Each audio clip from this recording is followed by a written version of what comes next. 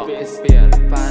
แต่กูไม่เปลี่ยนใจเคยบอกว่าคนแบบกูมันไม่มีไฟกูหมดไฟกูแค่หยิบบัตรขึ้นมาเปิดควายมันไม่มีเวลาจะมาเล่นเพราะเครื่องบินมันกำลังเทคออฟและมันนาน